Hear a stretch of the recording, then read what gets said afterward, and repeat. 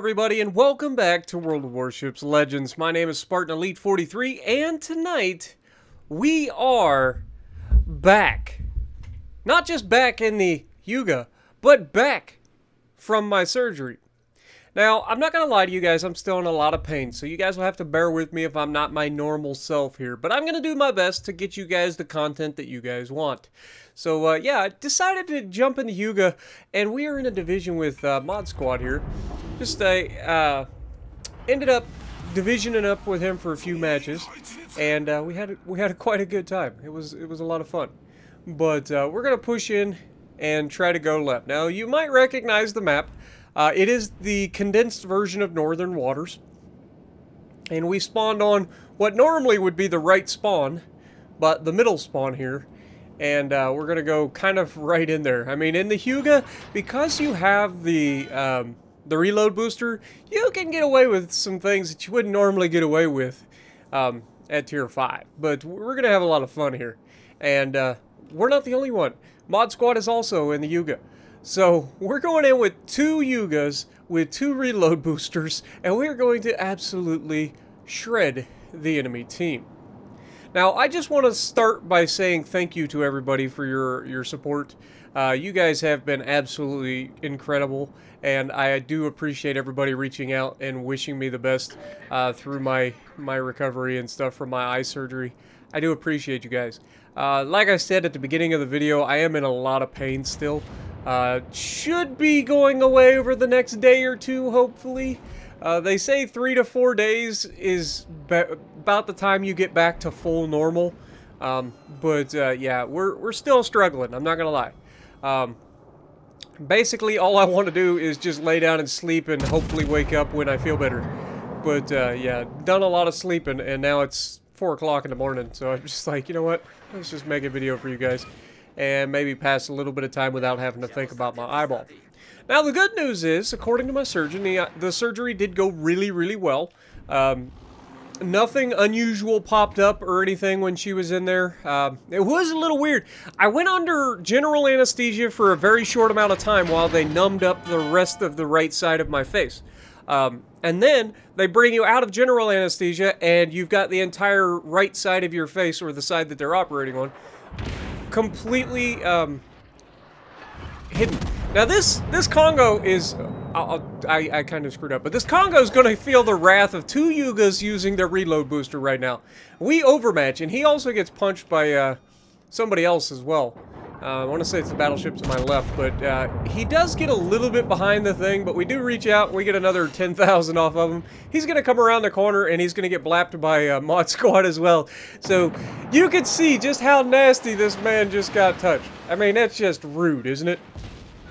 But anyway, it's a little weird having the entire right side of your face um, numb. Like, it's, I'm not gonna lie, it is a, a weird experience. You know what's even more weird? The fact that when you're under uh, local anesthesia is what they call that, and they're operating on you, they put a sheet, basically a sheet over your head so that you're not looking at what they're doing. Because that would be a little distracting, don't you think? Um, now, I'm not gonna lie, I should have waited for that shot on the Peter. Uh, that should have been an absolute death strike, but that was on me. I, I rushed the shot. I deserve to uh, come up short here. Now, that being said, we do have the Kongo here. We're going to go ahead and try to finish off this Kongo, Um, and Mod Squad's going to be able to uh, punch the Peter. Now, uh, we go ahead, as we're getting ready to, we save our shells here. We know that the Peter Veliki cannot be overmatched by us, so we aim high up onto that, that side plating. And then he turns towards us and gets absolutely dev struck. So, uh, yeah, it was a good, good play between two, two teammates two div mates at that. Now, unfortunately, he goes down. And that leaves just me to uh, continue this fight. And we, we are going to continue the fight.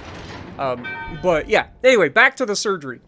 Uh, we end up with this like plastic sheet over our head. And of course, my right eye is exposed because th that's the one that they're working on. You can't see out of that eye, okay? When they put you under local anesthesia, like, you can't see out of that eye. You're completely blind in that eye while they're working on it, which is probably a good thing, because the last thing I want to see is pointy things coming at my eyeball. And that's why they put the sheet over your head too, is to keep you from seeing those pointy things to going for your eyeball. Now, the entire procedure, I think, took somewhere in the 35 to 45 minutes. Uh, oh my god, torpedoes! Help! oh no! Well, we didn't get flooded, so there's that. Oh, never mind, we got flooded. Luckily, our damage con's about to come off cooldown, and at least we know where the destroyer kind of is. But, uh, but yeah. So, Anyway, we ended up um, slightly having a, an issue. And by slightly having an issue, I mean is the procedure lasted long enough that I started to get some feeling back in the right side of my eyeball uh, as they were doing the work. Now, I wasn't in pain or anything like that, and I told them that at the time I was like, uh, just so you guys are aware, uh, I don't know if this is normal, I can feel what you guys are doing. And of course, there's the brief pause where everybody goes, oh my god, did we screw up? And then they're like, are you in pain? I'm like, no, I'm not in pain. And they're like, okay, well then you're fine. but it is weird when you can feel them after they've done the surgery they're starting to do all the sutures, right? The, the stitches. And as they're doing the sutures, thank God we didn't get flooded there. That could have been awful. Uh, 30 seconds of a flood would have been death. But uh, while they're doing the sutures, you can feel them pulling everything tight and, and finishing the sutures. And that's what I was feeling, was every time that they would pull those sutures tight, I could actually feel that. And I was telling them, I'm like, hey, you know, just so you know, it, it, I don't know how much longer we're going, but if I'm starting to feel things, I feel like we should maybe think about, you know, and they're like, oh, you're done. We did good. Everything looks fine. And so I'm like, oh, well, okay, in that case, we're good. But, uh, no, it was it was an experience, I will say that. Um, now, obviously, there's there's going to be some potential, like, things that you run into. My biggest thing right now is just pain.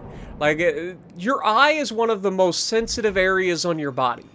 Um, have you, if you've ever worked, you don't even have to work, like, if you've ever gotten anything, an eyelash in your eyeball, you ever do that?